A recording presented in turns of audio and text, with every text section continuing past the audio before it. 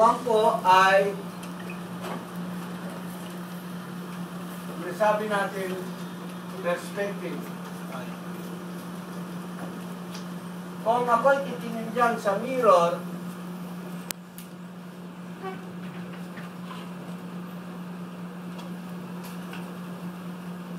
Ah, supposing this flat glass. Steady lang ako. Kung ano nakikita ko, ititrace ko, ititrace ko. Ha? Pero hindi ako lilipat-lipat. Pag trace ko yan, ang lalabas dyan ay perspective projection. How is that? So we have a Christmas tree Tinignan mo, yan po ay dancing Christmas tree. Spherical, up, spherical ang ano. Pag sunits mo yan, may tutugtog, tapos sasayaw-sayaw. Kung mabilis ang tugtog, mabilis ang sayaw. Yan po ay hindi pa patented. Wala pa yan sa market. Baka gusto nyo kunin ng idea, isa lang hiling ko ha, pag napapatent nyo na commercialize, lagyan nyo lang with thanks to my teacher in graphics in San Mr. Harry Francisco who inspired me about this idea the dancing Christmas tree. Ano yung papangalan nyo? Harry's Christmas tree. In honor of me, I'll give you that idea. Please, ha? Hindi na ako hingin ng royalty. Ha? Baka nga mangyari, ano? Yumaman ka. Siguro naman, di mo kalimutan, yung muna yung bilyonaryo ka. Wala pa na sa mundo, di ba? Wala pa? Imagine how nice, no? Dahil pag nagsasayaw, Depende sa galaw. Kung ano ang ilaw, nagpa-brighten pa na gano'n. Aba, ano pala no? Ano lang kaya negosyo ko pag total hindi na ako magturo. Tinignan mo!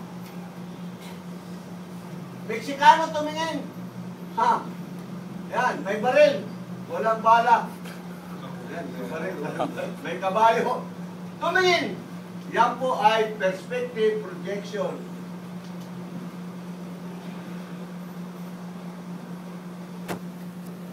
Yan. Lumiliit. Habang malayo ang object, lumiliit ang drawing. Kasi di ba, pag isang bagay palayo ng palayo, palit ng palit, yan po ang pinaka-makatotohanan na drawing sa buong mundo.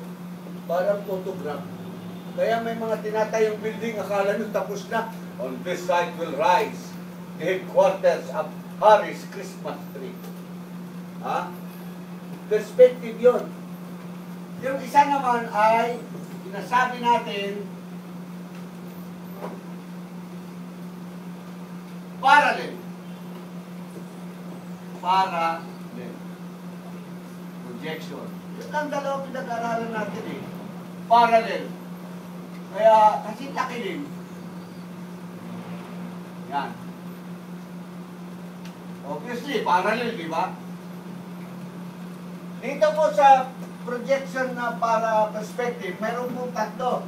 One point, perspective, two point, at saka three point. Example po nito ay ganyan. Meron tayong box. Yan po. Another example, ganyan po ang box. Yan. Another example, nasa taas yung box. one point perspective because there is one vanishing point where the object, if you bring it there, will appear as a point. This is also known as parallel one point or parallel perspective. Gagawa tayo niyan sa bandahuli. Itong two point, two point, ayan, yan po ang box. Yan. Ay gusto mo, andyan yan. Yan, yan po ang box, bahay. Ayan po ang SM. Yan po ang sidewalk. Yan po gutter ng street. Okay? o, pwede naman ganito. Nasa baba ang balancing point. Ayan po ang building. Yan po ay floating building. Nasa ilalim ng tubig ikaw ay nagda-dive sa underwater, nakikita mo yung baba. Kita niyo? Itong 3 point, Superman kayo, lumipad kayo, ito po ang nakita ninyo, yan po ang building, yan po ang ta- taas dyan, yan po ang wall. Yan. Napaka unique. It attracts attention. What is unique and unusual attracts attention. If I were to draw a perspective for a tarpaulin that will say this will be the headquarters of Harris Christmas tree, I will recommend this perspective. But that is not discussed here anymore. Just for information. Very complicated. Dito sa parallel projection, meron po tayong tinatawag axonometry.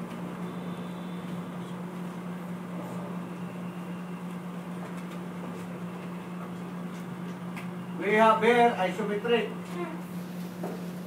Isometric. All the angles are equal. That is a cube. This is 120, 120, 120. The other one is diametric. Dalawa ang equal na ano. So meron kang dalawa na equal yung, diba, equal. Ito hindi. That will be diametric. Meaning two angles there are equal. So, yan po. Saka yung isa, trimetric.